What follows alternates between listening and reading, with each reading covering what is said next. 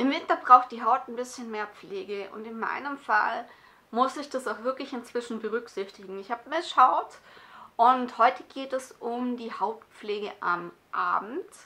Im Winter, ganz wichtig. Und natürlich probiere ich auch ständig neue Produkte aus, um zu zeigen, wie die performen. Nütze ich dieses Format hier und ich würde einfach sagen, wir legen los nach dem Intro.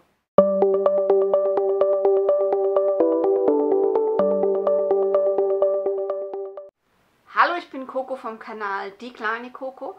Bei mir geht es um vegane, reizfreie, richtig gute Hautpflege, meistens auf dem Kanal. Ich habe noch so ein paar andere Themen. Aber heute möchte ich euch mal wieder meine neue Hautpflegeroutine am Abend zeigen, also eine Variante. Das ändert sich bei mir ständig so ein bisschen, aber so die Grundzüge bleiben grundsätzlich gleich. Und die möchte ich euch heute mal zeigen. Und was ich echt gerne mag, ist immer noch die Mischung Rizinusöl mit Mandelöl. Das ist natürlich eine Variante, die kriegst du nicht so wahnsinnig schnell vom Gesicht, wenn du es runterwäschst. Ähm, ist daher ein bisschen aufwendiger, aber die Reinigung ist halt einfach viel intensiver, finde ich. Ich kann es Menschen mit einer trockenen Haut vielleicht nicht ganz so empfehlen, weil es entzieht der Haut schon ein bisschen, ja, fett, würde ich sagen. Also es reinigt unwahrscheinlich gut. Muss es echt mal ausprobieren. Ich habe der Geschichte mal ein ganzes Video gewidmet. Man glaubt es kaum. Inzwischen sind sehr gute Produkte auf dem Markt, die man unwahrscheinlich locker und leicht verwenden kann, weil sie erstens unparfümiert sind, kein Mikroplastik-Intus haben. Ich bin halt irgendwann mal auf die Reise gegangen, habe gesucht und ähm, bin dann übergegangen, die Sache selbst anzumischen. Und es ist auch relativ günstig. Bin aber inzwischen auch ganz ehrlich, verwende ich Produkte, da geht es schneller. Ne? Aber das ist halt immer noch eine Variante, die reinigt unwahrscheinlich gut.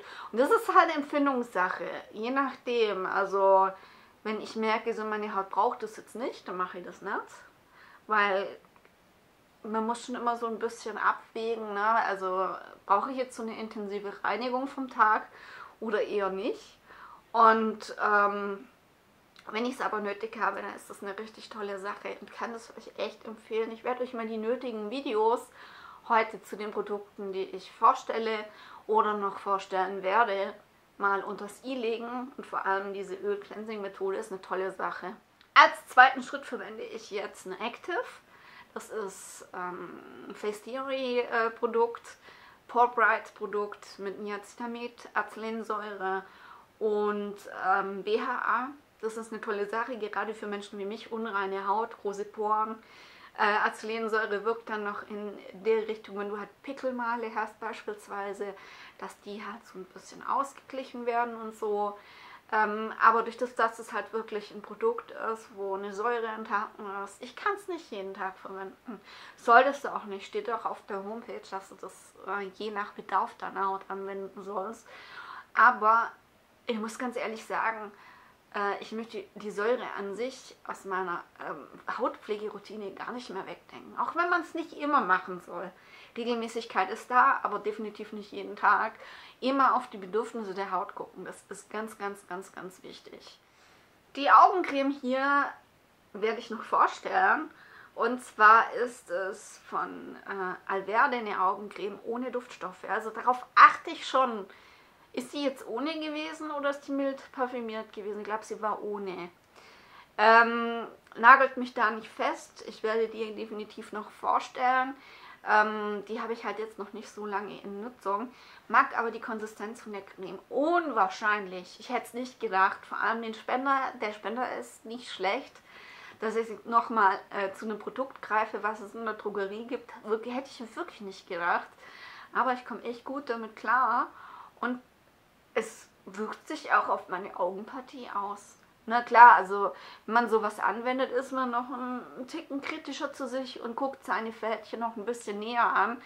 Ähm, aber ich kann es dennoch schon im Anfangsstadium, wo ich dieses Produkt probiere, empfehlen, gerade Leuten, die um die Augen so ein bisschen trockenere Haut haben.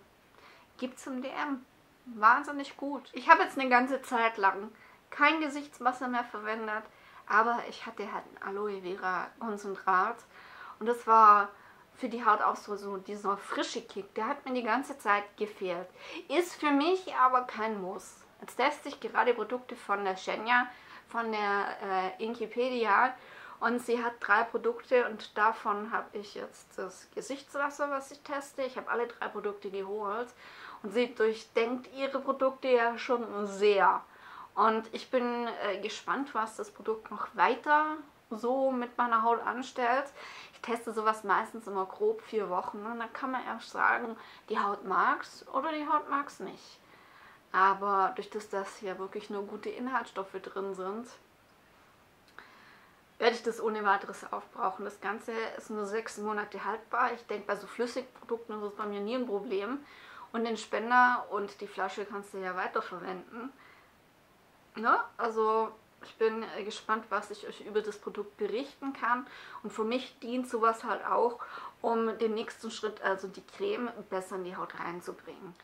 Letzter Schritt ist äh, die Creme. Und da variiere ich im Moment mit der Balea äh, Urea Creme oder der hier, je nachdem, wenn ich sehr schuppige Haut habe probiere es meistens immer mit der Urea-Creme, weil der Inhaltsstoff Urea halt in der Lage ist, sowas aufzulösen.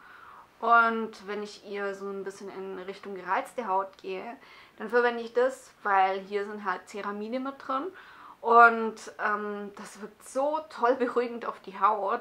Die ist nicht fettig schwer, so wie ich eine Nachtcreme äh, im Hinterkopf hatte immer. Überhaupt nicht. Und ich werde die mir, denke ich, auch wenn sie wirklich teuer ist, mit 30 Euro, aber du kriegst halt echt auch eine Riesenmenge, werde ich mir die, denke ich, echt nachkaufen. Weil die ist einfach toll.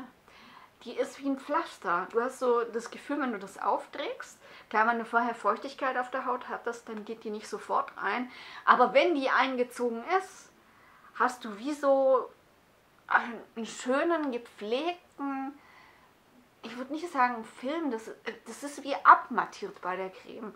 Das, das fühlt sich einfach so toll an und sie ist einfach beruhigt, die Haut.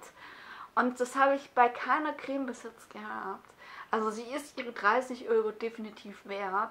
Allerdings ist sie auch nur sechs Monate haltbar und ich muss mich jetzt so ein bisschen ran ähm, sputen sozusagen, dass ich sie leer bekomme. Mit sowas auch nie sparsam sein. Ne? Also wie ihr seht, ich habe fast fast alles aufgebraucht, aber die ist echt mega gut, hätte ich echt nicht gedacht. Und so dieses, kaufe ich sie mir nach oder kaufe ich sie mir nicht nach, fällt mir gerade so ein bisschen schwer, weil ich halt eben auch Produkte für euch neu testen möchte. Ähm, aber ich denke, ich werde die irgendwann werde ich, werde ich mir die wiederholen, weil die ist einfach bombastisch gut. Dazu gibt es ein extra Video, kann ich euch auch mal unter das i legen. Ihr guckt heute eh unter das i, da findet ihr ein bisschen was. Ja, und das ist meine Hautpflege am Abend im Winter. Also eine Variante. Äh, das ein oder andere Produkt tausche ich meistens aus. Wenn es schnell gehen soll, dann wasche ich sogar mein Gesicht mit, äh, mit Waschgel. Je nachdem, also ähm, das kommt immer drauf an. Jetzt würde mich deine Routine am Abend interessieren. Schreib mir die gerne mal unten in die Kommentare, also welche Produkte du verwendest und ähm, was für ein Hauttyp du vielleicht bist, das würde mich schon auch interessieren. Gerne ab in die Kommentare. Ich melde mich an der Stelle wieder ab, bedanke mich bei dir fürs Einschalten. Gib mir doch einen Daumen nach oben, falls dir mein Video gefallen hat. Ihr wisst, mein Abo ist kostenlos. Und wir sehen uns beim nächsten Mal. Macht's gut. Tschüss.